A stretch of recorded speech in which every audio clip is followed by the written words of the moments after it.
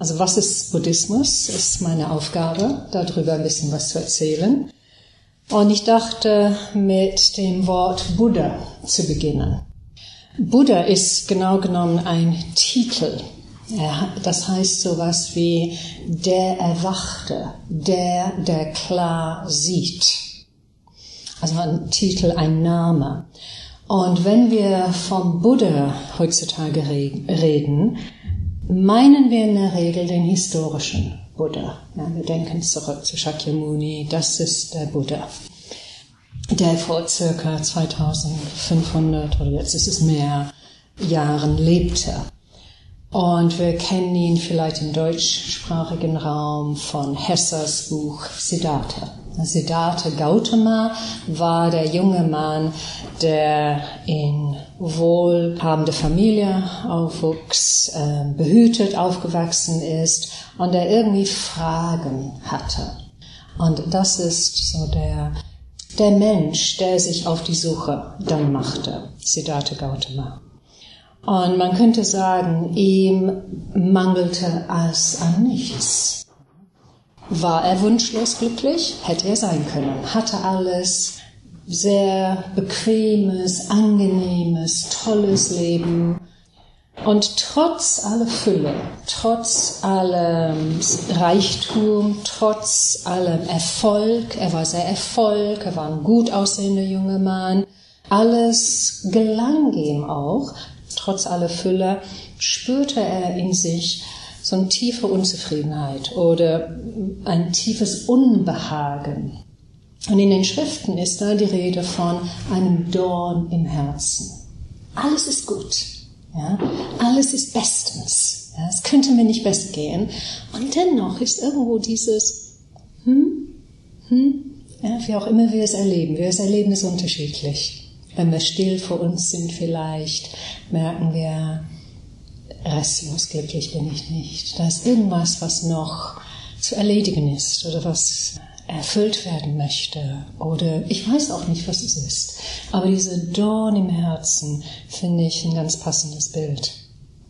Und er beobachtete dann auch, dass alle Menschen ausnahmslos aus seiner Erfahrung, aus seiner Sicht, das auch zum gewissen Grad auf unterschiedlichen Arten und Weisen kennen und erleben. So das, was wir gemeinsam haben, wir müssen uns nicht kennen, ja, wir müssen uns nicht mal mögen, wir müssen nicht miteinander befreundet sein, um zu wissen, alle kennen Geburt, alle kennen älter werden, alle kennen Krankheit und alle kennen Sterben und Tod, auch wenn nicht das eigene. Aber das kommt auf uns zu. Und das verbindet uns miteinander. Das ist ein Teil von dem Menschsein. Und diese Erfahrungen, älter werden, krank sein, Wissen um den eigenen Tod oder um den Tod von Menschen, die uns nahestehen, das ist schmerzhaft. Das geht uns nah. Das berührt diesen Dorn im Herzen. Und deswegen wird oft vom Schmerz auch im Buddhismus äh, gesprochen. Eigentlich wird vielmehr von Leiden gesprochen. Aber ich persönlich finde das ein bisschen irreführend. Viele Menschen, die haben ein gutes Leben, sie leiden nicht, aber sie haben dennoch, die kennen diesen Schmerz, ja, sind Dorn im Herzen. Es ist nicht leicht, Mensch zu sein. Ja, es ist eine ganz schöne Herausforderung, Mensch zu sein, klar zu kommen und irgendwie glücklich zu sein, zufrieden zu sein. Und dieses Menschsein ist verbunden sowohl mit körperlichem Schmerz wie auch emotionalen Schmerz und seelischen Schmerz. Zum Teil, weil wir nicht alles in der eigenen Hand haben. Wir haben alles nicht unter Kontrolle. Das festzustellen ist zwar sehr wertvoll, aber oft sehr schmerzhaft, weil wir hätten es gern anders. Wir hätten die anderen Menschen anders, damit mein Leben einfacher ist und so weiter. Also der noch nicht Buddha erlebte innere Unzufriedenheit.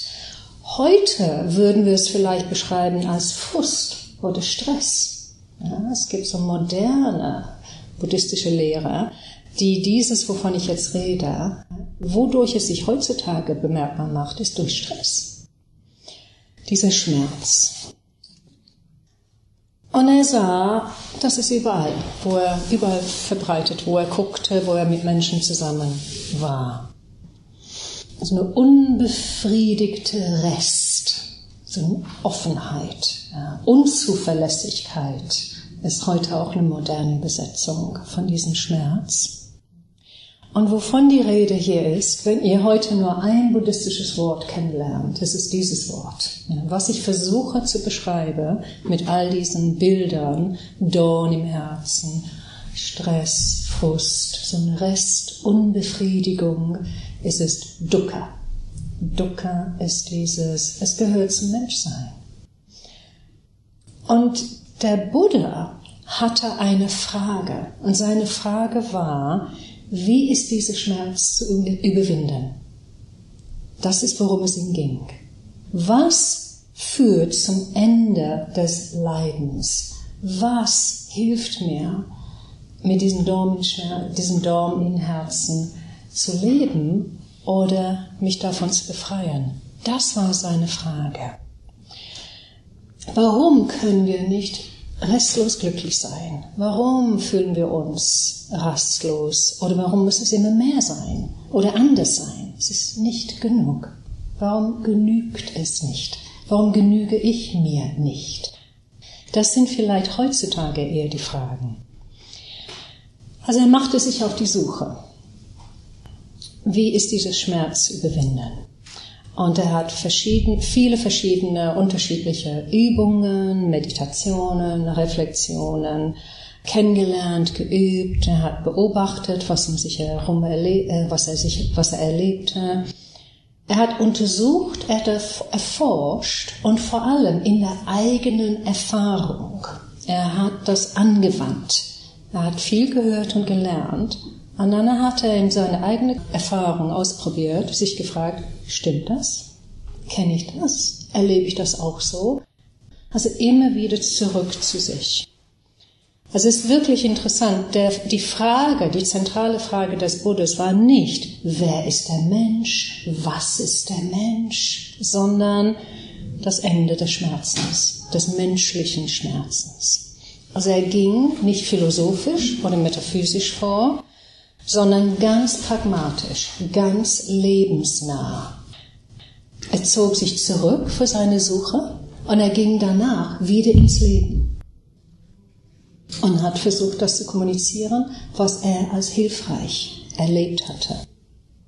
Also diese Frage, was hilft in Frieden, im Reinen, in Harmonie, in Verbundenheit mit mir, mit anderen, mit der Umwelt zu leben? Also es ging dem Buddha um diese Herzensweisheit. Wie kann ich das rausfinden? Wie kann ich das leben? Und weniger um Wissen. Der Buddha war nicht allwissend. Im Buddhismus ist die Rede eher von Erkenntnis. Durch die Übung, zum Beispiel von Meditation, gewinnen wir Erkenntnis. Wir erkennen mehr für uns selber. Was ist hilfreich? Was führt mir zum Glück? Was führt weg vom Leid? Was steht mir im Weg? Es ist ein Erkenntnisweg, befreiende Erkenntnis, das aus Erfahrung gewonnen wird. So, Buddha ist dieser Titelname, der, der klar sieht. Also jetzt müssten wir uns fragen, was hat er klar gesehen? Und das möchte ich kommunizieren mit Hilfe eines Gleichnisses. Das ist ein traditionelles Gleichnis aus der buddhistischen Tradition. Und wir kommen nochmals zurück zu unserem menschlichen Le Erleben. Wir alle erleben Schmerz, wir alle erleben aber auch Freude. Ja, ich glaube, da sind wir uns einig. Ja, wir sind manchmal sehr glücklich und es ist toll und alles ist stimmig. Und dann gibt es Zeiten, wo wir etwas Unangenehmes erleben, wo es schwierig wird, schwierige Erfahrungen, schwierige Zeiten, wo dieser Schmerz spürbar ist.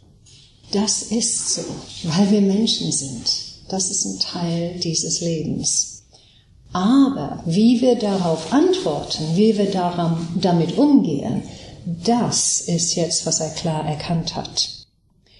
Erlebe ich etwas Unangenehmes? Was ist diese übliche Reaktion darauf?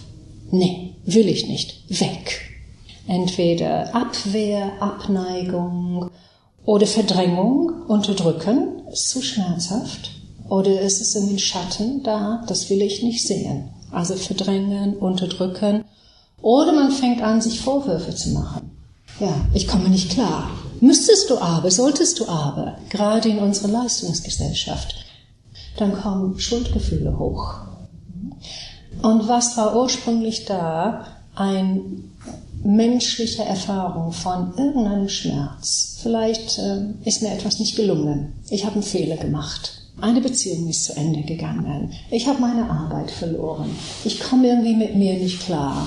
Hm? Das ist schmerzhaft genug. Aber was wir tun ist, wir legen noch einen drauf.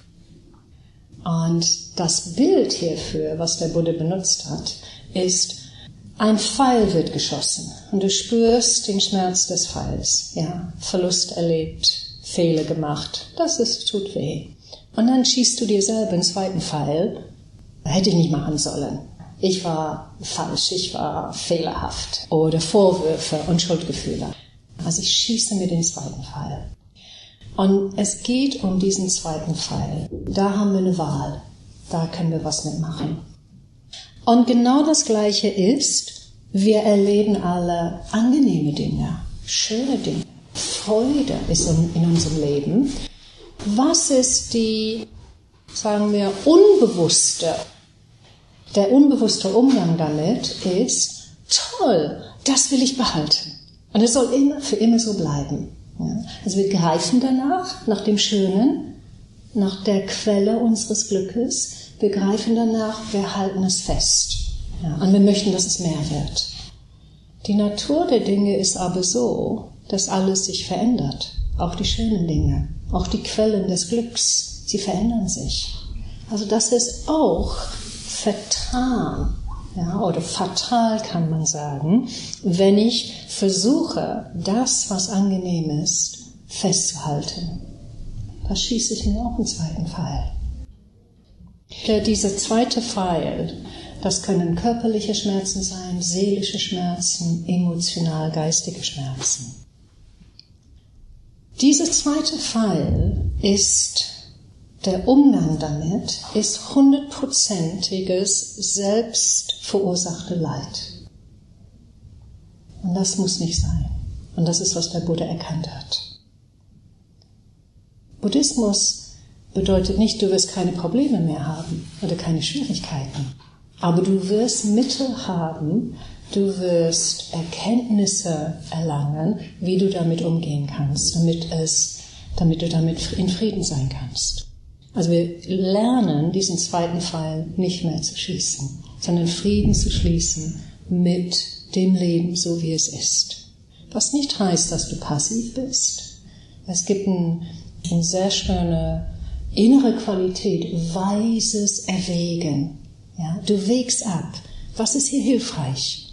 Was ist heilsam? Was führt mich weiter? Was hilft der anderen Person? Und dann entscheiden wir. Wonach orientierst du dich? Also dieser zweite Pfeil ist Dukkha, den Pfeil, den wir uns schießen, wo es nicht sein müsste. Und Buddhas Entdeckung, könnte man sagen, ist der Umgang damit, damit ich nicht noch mehr leide. Er hat einen Weg entdeckt. Er hat einen Pfad entdeckt, und dieser Pfad führt zur Aufhebung des Leidens im Sinne von diesem zweiten Fall. Ein Weg, der zu Freiheit von Anhaftung, Greifen, ja, eng klammern führt, frei davon zu werden, frei von Abneigung, von Hass, von gegen das Leben sein. Das in sich ist schmerzhaft. Und frei zu werden von so innere Verwirrung, so nicht wissen und unklar sein, das ist auch unbefriedigend. Im Buddhismus ist oft die Rede davon von Verblendung, als hätten wir so Schleier. Wir können nicht klar sehen, was ist hier wichtig, was ist hilfreich. Also sich davon zu befreien, das hat der Buddha entdeckt. Und das ist, was er dann gelehrt hat. Und es gibt sehr viele verschiedene Formulierungen. Eine sehr berühmte Formulierung ist, das ist der achtfache Pfad. Wie gehe ich vor in allen Bereichen meines Lebens? Emotional, rational, in der Kommunikation, in der Arbeit. Wie kann ich üben, leben, mich schulen, dass es zu mehr Glück führt und nicht zu mehr Leid? Das ist die Essenz des Buddhismus. Und es gibt einen einfacheren, äh, nee, ich weiß nicht, ob er einfacher ist, aber er heißt der dreifache Pfad. Ist nicht einfacher, ist genauso anspruchsvoll, aber das ist, kann ich besser erklären in der Kürze der Zeit. Ja, der dreifache Pfad. Ein Weg, der besteht aus Meditation, ethisches Bewusstsein und ethisches Verhalten und Erkenntnis, Weisheit. Bevor ich das ein bisschen mehr beschreibe, es ist wichtig zu wissen, dieser Weg ist möglich für alle Menschen, unabhängig von Nationalität, Hautfarbe, Rasse, Herkunft, Geschlecht, man könnte auch sagen Religion. Ja. Der Punkt ist für alle Menschen, die sich dazu entschließen, die bereit sind, ihren eigenen Herz und Geist zu schulen ja, es ist ein Schulungsweg. Es ist möglich, dass wir uns entwickeln können. Ich sage gleich, wie, wozu, was sollte ich dann entwickeln? Was sollte in mir wachsen? Es ist für alle Menschen möglich. Das äh, buddhistische Menschenbild gibt es schon, ist auch mit einem Bild verbunden. Juwel im Lotus. Oft, wenn Buddhisten so Rituale durchführen oder wir verbeugen uns ähm, vor dem, was wir anstreben, legen sie die Hände oft so. Und es ist, das ist ein Bild dafür, ich halte in meinen Händen ein Juwel. Ich könnte sagen, ich halte in meinem Herzen ein Juwel.